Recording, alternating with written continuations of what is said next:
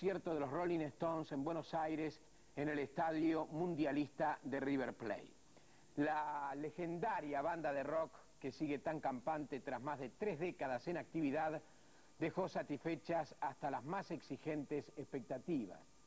Los llamados renegados de Darfur no solo ofrecieron sus esperadas canciones y gastaron energías que desmienten sus edades cronológicas, sino que también montaron un escenario impresionante, similar a una base de lanzamiento espacial, utilizando 3.840.000 watts de potencia, 15 kilómetros de cable, 45 toneladas de agua para reforzar la estructura, unos gigantescos muñecos inflables y también una deslumbrante pantalla gigante de alta resolución.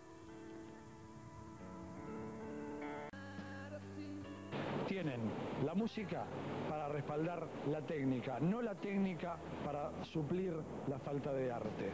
Los Stones llegaron a la Argentina y también a Uruguay gracias a Canal 10 y a FMX 100.3 a un costo de 20 millones de dólares para realizar cinco shows al aire libre y enloquecer a más de 300.000 personas. Jamás, ni siquiera en los Estados Unidos, han hecho cinco shows seguidos en un mismo lugar. Esto ha sido una distinción. Ocurre que los Stones parecen haberse enamorado del Río de la Plata. No solo dialogaron con Menem y con Maradona, también confesaron que no veían un fervor tan grande en el público desde los años 60. Por ello, han prometido volver a fin de año cuando estén concluyendo su impresionante gira mundial una demostración de amor de ida y vuelta, ¿no? O sea, del público hacia la banda y de la banda hacia la gente, porque creo que el grupo se entregó ayer por completo en lo que de antemano se preveía que iba a ser una, fiesta inolvidable y creo que es lo que finalmente fue, ¿no? Pero hubo otro espectáculo dentro del espectáculo. La iniciativa de Canal 10 y FMX 100.3 de sortear 100 entradas para el concierto de anoche entre los uruguayos amantes del rock y atención, que fueron 100 entradas para excelentes ubicaciones. Los beneficiados se concentraron en Canal 10, viajaron en un charter especialmente contratado y disfrutaron a pleno el espectáculo. Su comportamiento fue ejemplar. Bueno, la propuesta de Canal 10 y de X 100.3 FM fue absolutamente, yo te diría exitosa, aunque a mí la palabra éxito no me gusta demasiado, pero fue realmente exitosa en cuanto a que no hubo absolutamente ningún problema y fue, bueno, fue una fiesta dentro de la fiesta, ver el entusiasmo también de todos los que viajaron junto con nosotros en este Boeing charteado especialmente para llevarnos directamente al estadio y vivir esta fiesta inolvidable también a nuestra manera. Lo que los Rolling Stones ofrecieron anoche fue un espectáculo grandioso cuya magnitud había comenzado a advertirse en el paciente desarrollo de los preparativos. Y después, por cierto, llegó lo mejor.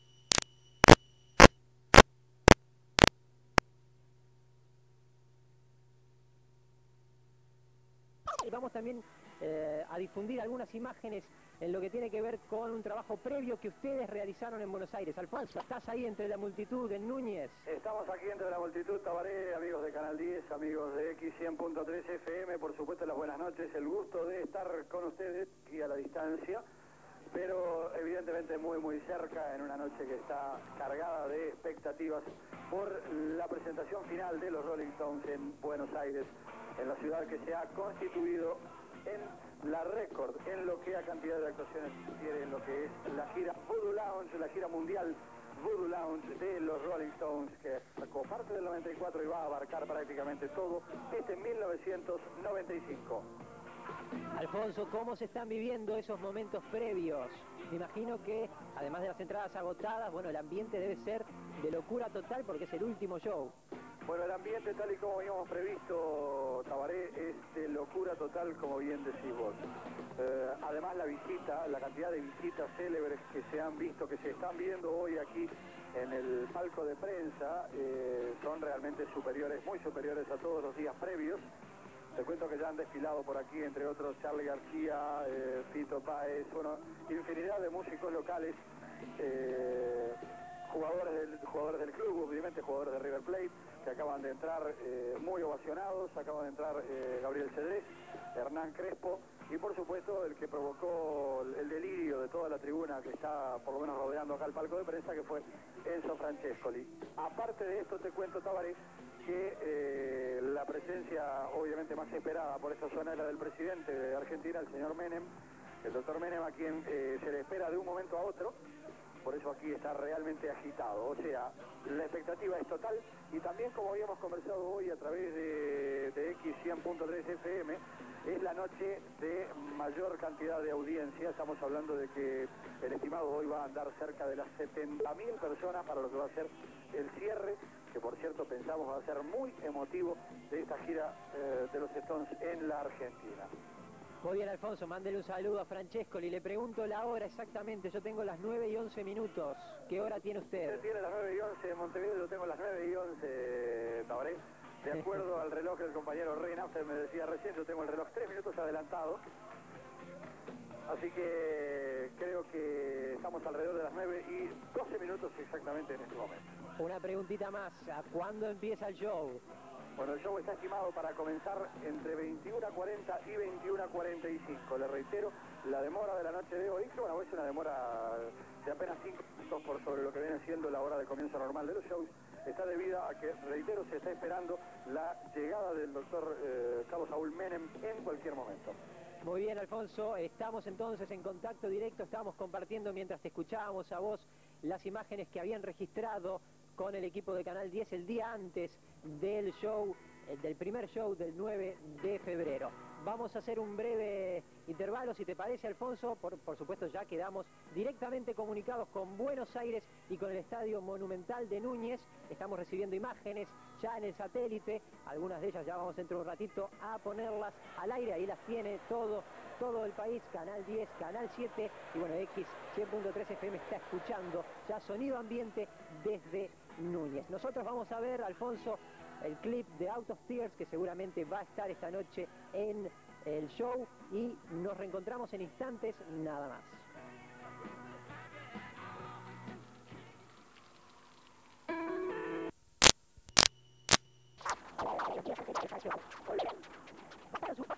Llegaron los 100 uruguayos invitados por Canal 10 y por X 100.3 FM a Buenos Aires. Bueno, primero que eso quería mandarle obviamente un saludo a toda la gente del canal que está por allí, después se ofenden, usted lo sabe.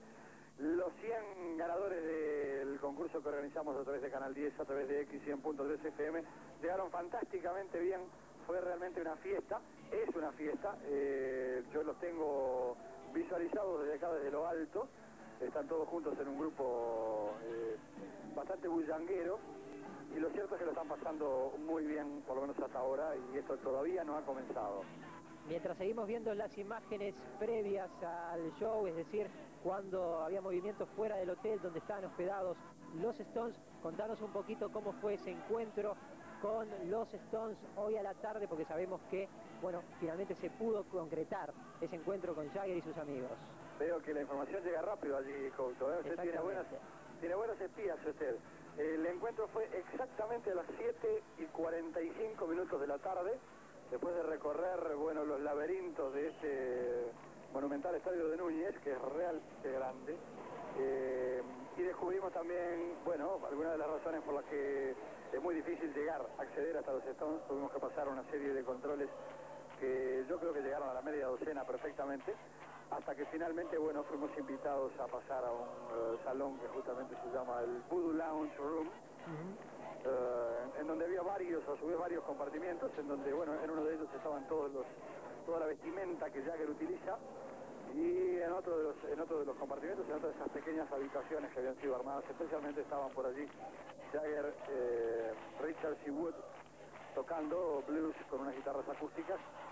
En el momento que estábamos nosotros también eh, estaba esperando la puerta del camerino Guillermo Vilas y fue un encuentro breve pero realmente muy divertido, especialmente con las presencias de Wood y Richards, que son obviamente los, los más divertidos del grupo. Charlie Watts fue muy cortés. Y Mick Jagger, bueno, Mick Jagger estaba muy interesado en saber algo más de Uruguay, preguntó, bueno, lo que habitualmente pregunta la gente que realmente desconoce eh, nuestro país eh, en términos un poco más eh, concretos, población, la situación, usted sabe. Richard se recordaba la, la, entrevista que emitiéramos a través de Canal 10 hace un año y medio, y este realmente fue, fue muy emotivo, Tabaré, como podrás suponer, me imagino, me imagino. Y vamos a conversar largo y tendido de ello una vez retornados a, a, Montevideo. Lo cierto es que fue realmente muy gentil por parte de la banda que ha sido acosada completamente por todos los medios locales. Ha tenido unos minutos para recibirnos a nosotros también allí en su, en su camerino. Muy bien, Alfonso, son las 9 y 24, nos estamos aproximando entonces al momento realmente esperado por mucha gente que no ha podido viajar a Buenos Aires y bueno, por la gente que viajó y está queriendo ver de vuelta este espectáculo, ¿no? Sí, yo Tabaré aprovecho para decirte también que en ese intervalo breve que tuvimos entre esta, entre esta aparición y la anterior, que la estimación está ahora eh, bastante firme en el orden de las 70.000 personas, es cosa que ustedes ya habrán podido ver a través de las imágenes que ya está acercando el satélite, y tal vez un poquito más. O sea que los Stones van a, lograr meter, digamos, me permiten la expresión, más de 300.000 personas en cinco shows en Núñez. Se calcula ya arriba de 320.000. Nosotros vamos a intentar ahora en el próximo intervalo que tengamos entre una aparición y otra de confirmarte la cantidad de gente que hay en este momento en Núñez. Pero es absolutamente impresionante, ¿eh? absolutamente impresionante.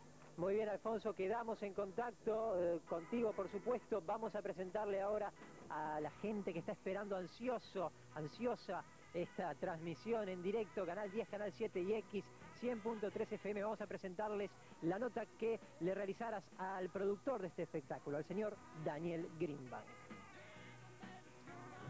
Yo creo que como empezaba un colega argentino también, la primera cosa que hay que hacer es decirte gracias por esto y por un montón de cosas más, como por ejemplo haber incluido definitivamente Latinoamérica al Río de la Plata en la ruta del rock and roll. Eh, has hecho muchas cosas acá, has hecho muchas cosas también en Uruguay que mucha gente no lo sabe, has hecho y vas a hacer muchas cosas más en Uruguay. Concretamente con los Rolling Stones, mucho tiempo de negociaciones, se habla de que estas cosas son tan difíciles, ¿son en realidad tan difíciles? No, no son tan difíciles. Lo importante y fundamental es cuando un grupo decide venir acá. Los Rolling Stones no hay manera de convencerlos por ofertas económicas, esto ya está más allá del bien o del mal. Eh, eso es cuando ellos deciden venir acá, entonces ahí se hace muy fácil. Y cuando, bueno, después tienes una instancia de negociación en la cual están los sí, los no, los por qué y, obviamente el montaje de una infraestructura como esta que es compleja. Eh, pero ellos tienen un equipo de producción excepcional y creo que todo eso facilita mucho las cosas. Está además decir que obviamente ha sido el show a nivel de producción más complejo de cuantos se han hecho aquí, ¿no? Lejos, eh, te diría no solo de aquí, es el show más complejo de la historia del espectáculo en el mundo y viene tal cual se presentó en Estados Unidos. Acá no hay ni, o sea, no hay medio inflable que no esté, es tal cual lo que empezó, en, se vio en Washington cuando empezó, en Nueva York, en Los Ángeles, o se va a ver el año que viene en Europa. Eso es una buena aclaración porque también en un principio, bueno, se hablaba de que los artistas venían aquí primero venían aquí cuando ya estaban de vuelta y luego que venían con shows más, más eh, reducidos con respecto a lo que se ve en el resto del mundo. Sabemos que eso no es así. No, no es así desde hace tiempo. Macadona, Paul McCartney, eh, vinieron con los shows, eh, los Guns N' Roses, con la infraestructura con que se estaban presentando afuera. Eh, eso habla un poco de la incidencia y la importancia que ha adquirido este mercado con respecto a, lo que era antes. Antes era un lugar, como un mercado marginal y hoy cuando se habla de una gira mundial se incluye América Latina. ¿Conocieron a Maradona finalmente? Lo van a conocer, supongo. supongo que sí. Daniel, muchas gracias. Ustedes querrán que conozcan a Frank Chescoli también, Tenemos que conozcan a eso, sí, absolutamente. Daniel, muchísimas gracias. ¿eh? Gracias por esto y gracias por todo lo que has hecho Ahí estaba la entrevista con Daniel Greenbank que había realizado Alfonso Carbone un día antes que los Stones debutaran en Buenos Aires el pasado 9 de febrero. Nosotros vamos bueno, está creciendo la expectativa, son las 9 y 26 minutos, vamos a recordar el